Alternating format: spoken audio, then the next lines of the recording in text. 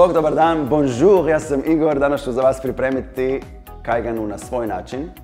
Omelette de Igor. Est la bibliothèque? Oui, merci.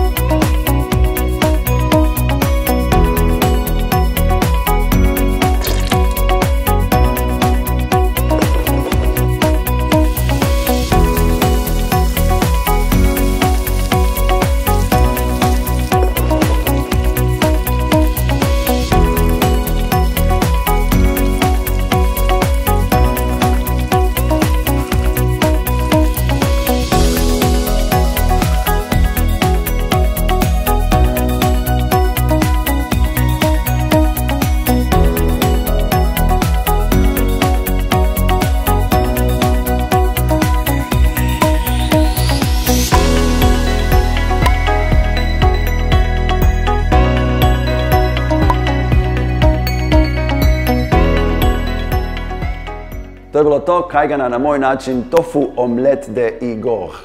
Oui, c'est moi, merci beaucoup. Au revoir.